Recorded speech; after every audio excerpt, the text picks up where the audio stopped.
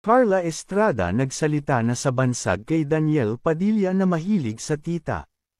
To the rescue umano agad ngayon ang mommy ni Daniel Padilla na si Carla Estrada na matapos itong maging sentro ng katatawanan ngayon matapos magkaroon ito ng panibagong pangalan na itatawag sa kanya na mga haters niya na siyang kahihiyan naman sa kanyang panig bilang lalaki.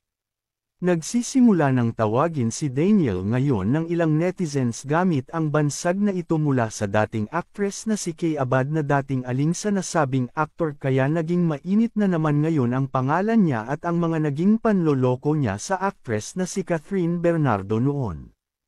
At dahil dito ay nagawang dumpensa ng mommy niyang si Carla kaugnay dito, at ayon sa nasabing TV host ay hindi umano totoong mahilig ang anak niyang aktor sa mas matanda ng edad sa kanyang babae kasi kung totoo ito ay dapat noon pa ay mga ganitong mga babae na ang nakarelasyon nito. Tanging si Kay lang umano ang nalink kay Daniel na 13 years ang naging pagitan ng edad nila at wala ding kasiguruhan kung naging sila talaga kaya hindi masasabing parte ng pagkatao ng aktor ang pagkamahilig sa mga babaeng mas matanda sa kanya. Anya pa umano ni Carla ay hindi desperate ang anak niya para piliing pumatol sa mga mas matanda sa kanya dahil alam umano ng lahat na maraming babae ang nagkakandara po dito na mga kedad lang niya mula pa man noon at maging hanggang ngayon ay marami pa rin ang nangangarap umano sa anak niyang aktor.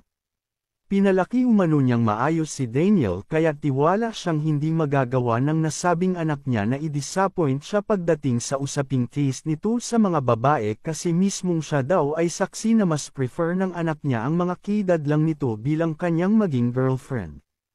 Pagdating kay Kay ay nasasabi naman umano ni Carla na kung totoong may namagitan sa kanila noon ni Daniel ay mas lalong nagpapatunay lamang iyon na marami talaga ang nagkakagusto sa anak niyang aktor at isa sa buhay na pruweba ang dating aktres nga na si Kay.